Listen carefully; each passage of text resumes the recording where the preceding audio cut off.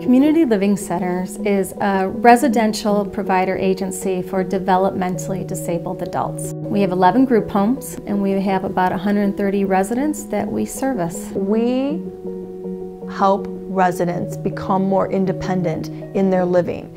They may come to our agency and have very little basic living skills and they might start living in a group home one of the things that we do is help our residents work on life skills. Some examples of that would be learning how to cook a meal, learning money skills, laundry skills, there's all kinds of skills that um, residents learn. CLC's goal is to make the residents feel love, to provide a family environment for them where they can grow and reach all of their potential. I like living at the Freedom House because I like all the staff, and they treat me the right way. They take us out or they help us if we need anything. I've been living in Freedom House for about five and a half years now. Um, we do fun things together.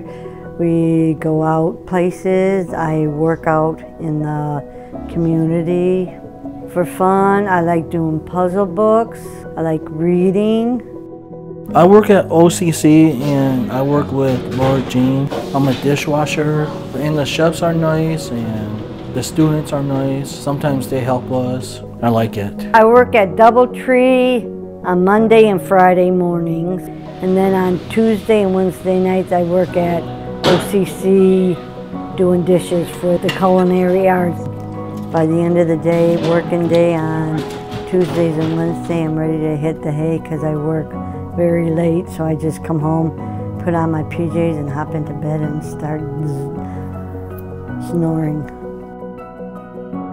When I was a little kid, they used to call me Teeny Weeny Laura Jeannie. But when I was eight, me and my sister were walking to the store and crossing the street, I got hit by a car and was unconscious in a coma for about 10 weeks. Had closed head injuries. They did a tracheotomy and they say I'm a miracle child because they all thought I had no hope of coming out of the coma. Aaron and Laura Jean are great examples of what we want to achieve at CLC with our folks. They are independent, they have great social lives, they have the support of their families, and yet every day they're learning new things, they're becoming more independent, and our hope is that one day they're going to move on out of that Freedom House and into their own apartments. There's a common perception that people have that our folks just live off the state. But in fact, they actually earn wages to pay for their leases, for their utilities, for their room and board. They also receive um, their Social Security.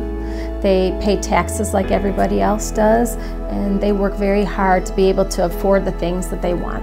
Some of the biggest challenges that CLC faces as an organization is financial support. Over the last three years, the funding that we have received from the state was decreased by about $180,000 a year.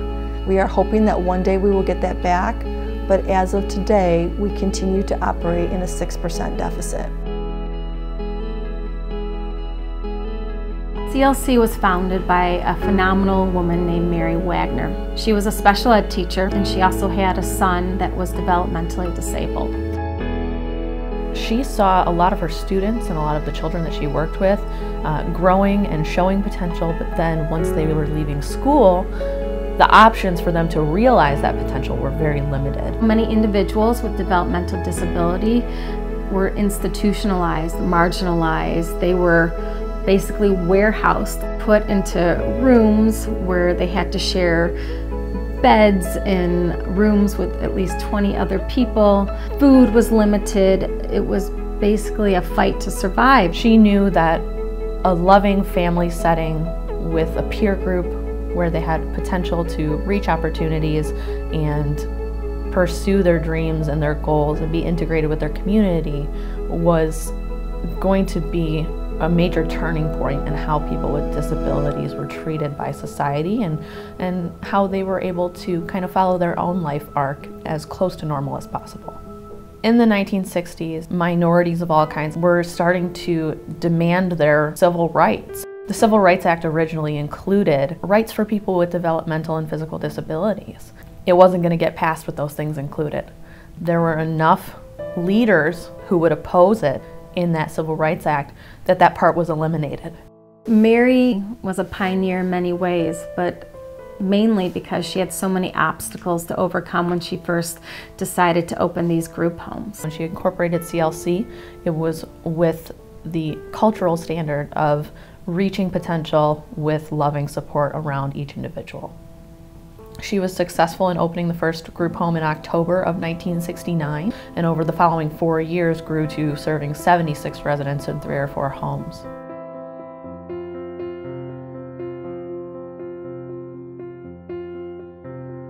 Back in the 60s, people did not want group homes as their neighbors. They didn't want to have our loving residents as their neighbors because they thought that it would lower their property value, that people wouldn't want to buy their homes near them.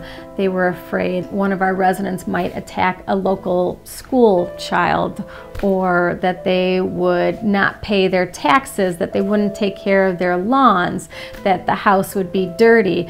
There were all these misconceptions that that Mary had to tackle.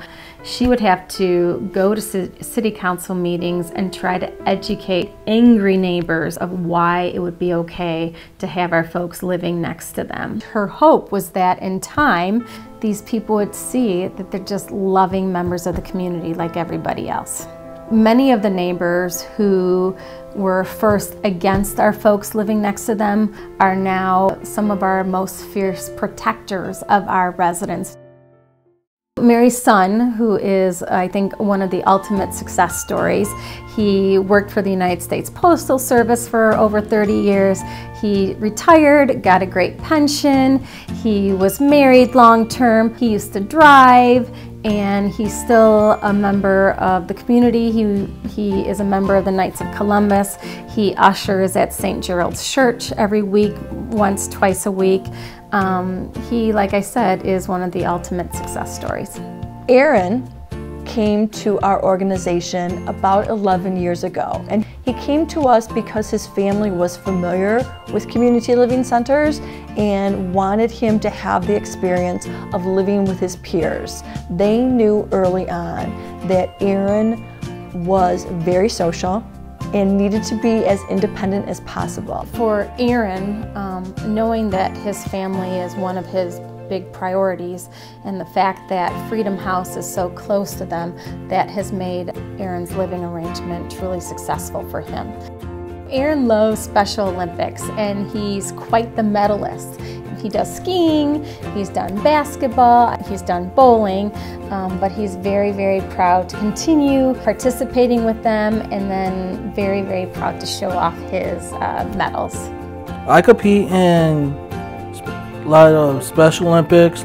I did baseball, basketball, skiing, and I got this in gold slalom. This one is bronze, and this one is the gold. I like Special Olympics because I like meeting a lot of friends and I can hang out with more people. There was over 4,000 athletes up there this past year when we were at Traverse City. Laura Jean has been with Community Living Centers for six years now. She loves arts and crafts. She loves going bowling. She loves going out to eat. She loves going to the movies. She loves to be the jokester in the group. She loves that attention and she loves making people laugh. One day I would love to find me a, a male friend who we could do things with, go out places with long black hair, maybe lots of money. He'll let me sleep in while he cleans the house up. I'll be living in luxury. That's my in my dreams though. Or would you call that a nightmare?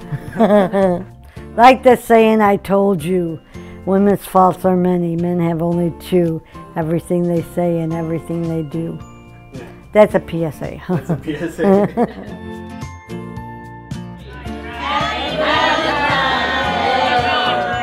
One of the things that everyone needs to know is that our residents are just like everybody else.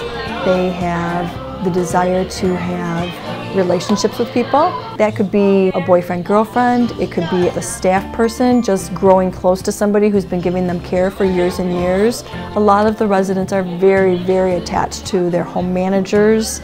They have very rich social lives. They are out in the community all the time. They are engaging with each other. We strongly encourage family engagement. I think they have a blast.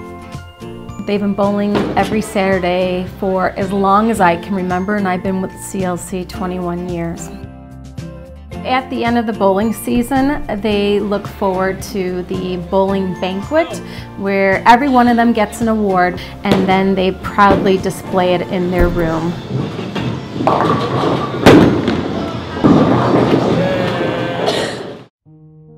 I think as an organization, CLC has many goals still ahead of us.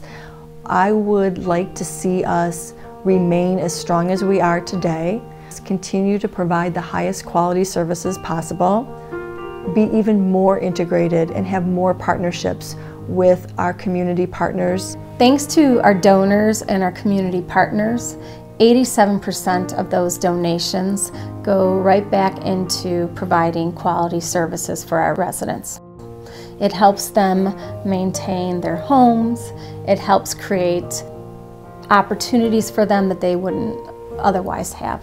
Because the funding that we receive through Medicaid dollars is not adequate enough to cover all of the needs that we have as an organization, we are constantly working on fundraising ideas and requesting donations and support from our families and from our community partners. I don't know if as an organization we would be able to survive as well as we do without the support of our local community. We have a great relationship with vendors in the community, with community partners. They support us both with the services that they provide to us, as well as many of them come to our fundraising events. They donate out of their own pockets and out of their organization's pockets. And without those donations, it would be much more challenging for us to continue the legacy that CLC has maintained for 50 years.